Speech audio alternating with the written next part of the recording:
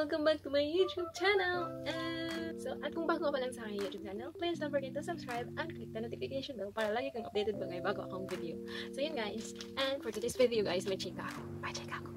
So, nung ano kasi, nung April 8 is my nag-message yung, nag-message yung uh, Hong Kong government na required daw mag-swab test lahat. So, kahapon, hindi ko naman to expected. Binigyan ako nila ni Amo ng hindi lang isa, hindi lang dalawa, hindi lang tatlo, kundi lima na antigen test. Nagtitest ako So ngayon, guys, gagawin natin to.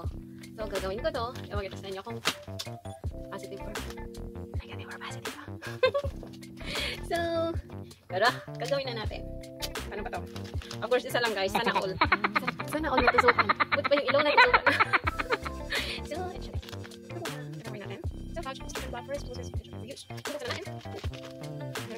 Meron siya. Ito.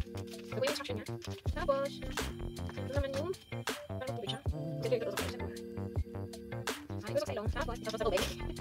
So, gagawin muna natin kung ano natin yung Then,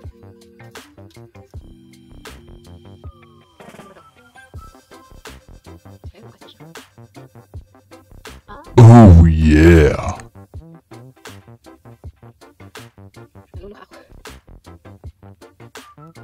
So, ayan siya guys. Saan natin saan tayo mag-track doon dito. Ay.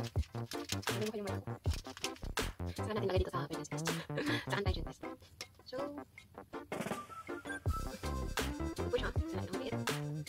Tapos, parang ano siya, parang pregnancy test. Kaya natin dito sa maliit na pregnancy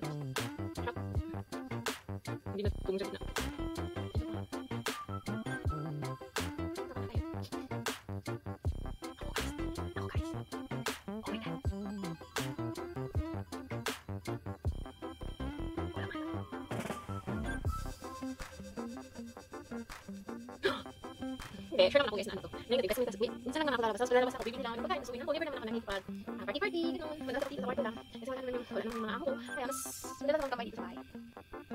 So, kaya magtataka ako kung, kung, kung, ano, kung makakastil. Diba? Kasi hindi ka naman nakikipag, ano, sa labas. Tapos, tapos eh, magpapasitin yung soft sige naman. See you online. And,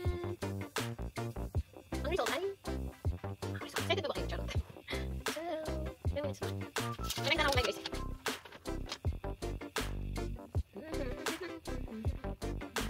Oh, drops pa na siya. 15 minutes.